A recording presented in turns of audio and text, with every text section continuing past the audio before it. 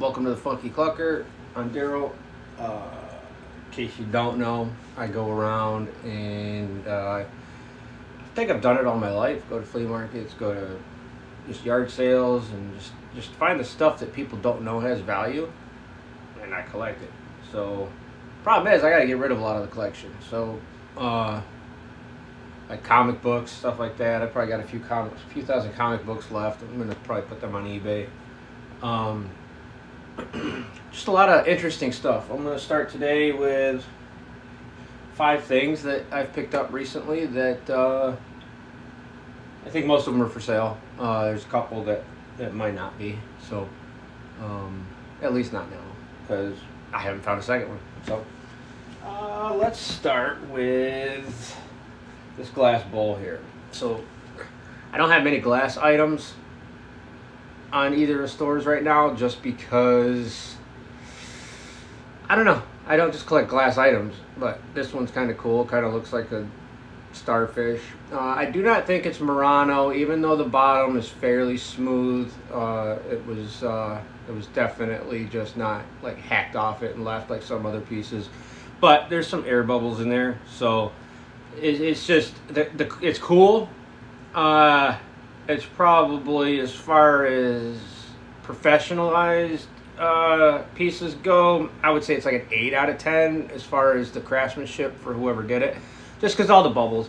I don't know if you can see the bubbles in there. But it's still a really cool piece, trinket piece. You can put your earrings on there or something like that. Uh, I don't know. Candy. Still cool. Uh, this I do believe is up on Etsy store. Uh, Funky Clucker on Etsy, Funky Clucker on eBay. It's there. Um, check it out. I mean, you know, I'm not. You guys don't need to buy anything, but if you want to like, share, subscribe, or something, follow, that helps. It just pushes me through the algorithm for people that are trying to uh, to find these items. Um, and I always take requests too. I'm, I'm hitting estate sales every weekend. Uh, that's my favorite thing to do, just because like there's a ton of stuff in a compact area, and if this person collected it, chances are it has value. Um, I was at a house the other day uh, two estate sales ago, I think two weeks ago, and it was uh, like it was I don't know. I think they must have just moved and they were having an estate sale, not taking everything with them. But they had some Chinese uh, tea sets. Still haven't got the date of them yet, but so far a couple of them are back into the 1700s, so that's pretty cool. Um, I just don't know how to put a value on it right yet. You know what I mean? So, uh, but we'll get there. Okay. the next thing is I got a set of six, I think. One, two, three, four, five, six, seven. Seven white or yellow jade elephants. I think it's yellow jade. A couple of them look pretty white, but they're very similar in uh, in color anyway. So, um, look at these. These are all crafted by hand. Trunks are all up, so it's good luck. I'm gonna drop this and I'll be mad. Uh, but it goes they're they're they incrementally go downwards in size until you get to this little guy. Look at the little guy. Look at him. Ah, little tiny guy. Perfect. Like I mean, I don't know how you even carve something that small.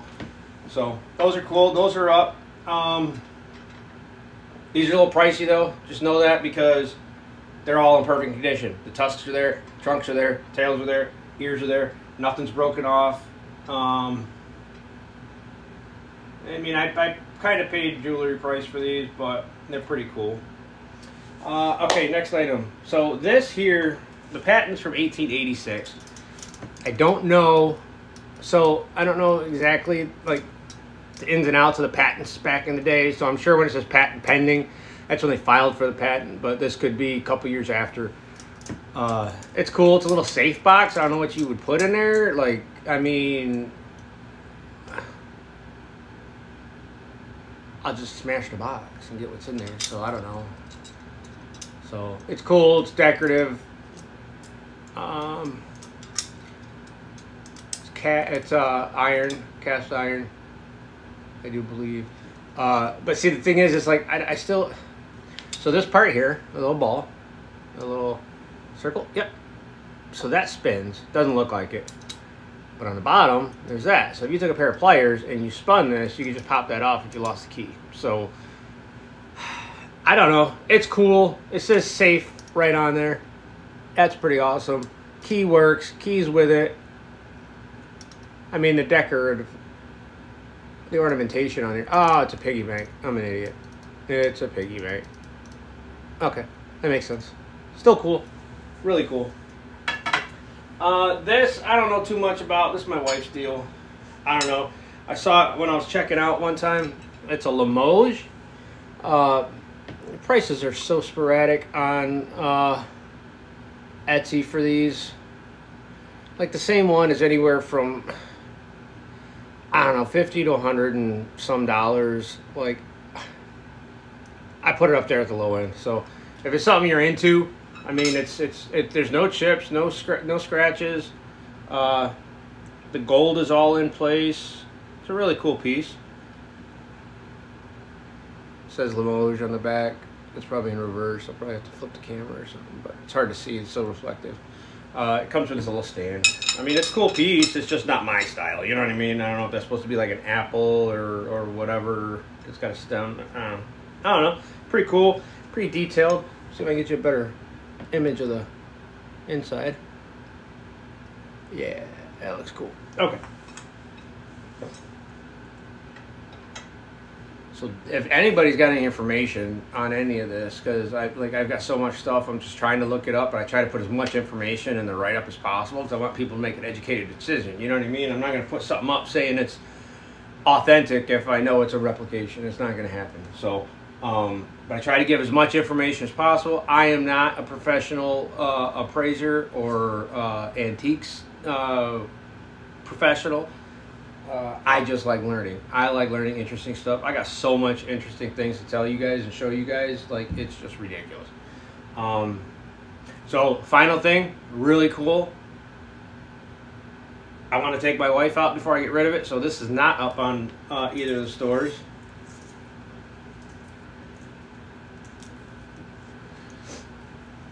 Look at that mesh bag. Evening bag. Look at that. Now, I don't know, I'm gonna try. I don't know if I can, if you can see the ornamentation on the, hmm. I apologize. My stupid face is in the way too, it looks ugly. Get over well, whatever. Um, there is, I'll try to get a picture, a better picture, and I'll post it maybe. Um, as